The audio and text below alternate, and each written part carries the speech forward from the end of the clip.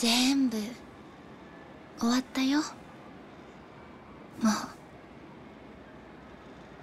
だからゆっくり休んでね。お兄ちゃん。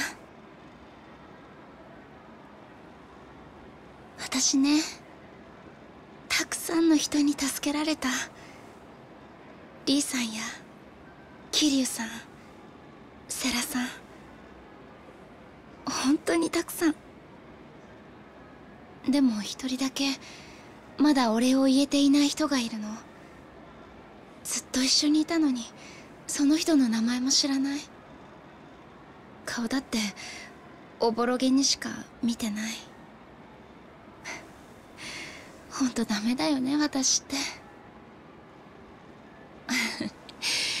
お兄ちゃんがこんなこと言われても困っちゃうか。ごめん。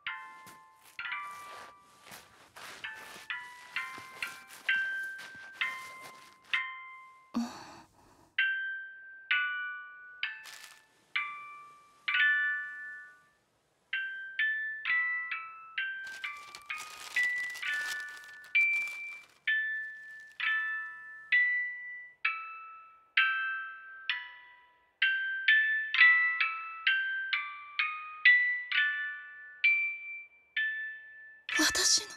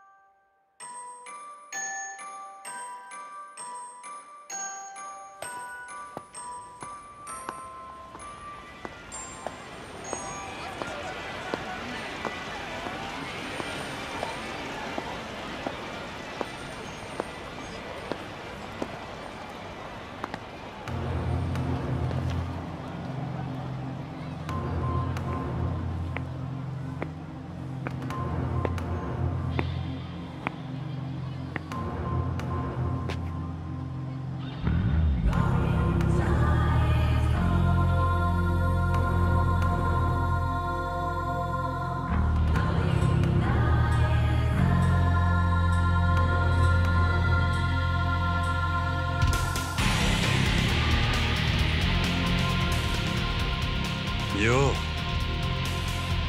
桐生ちゃん！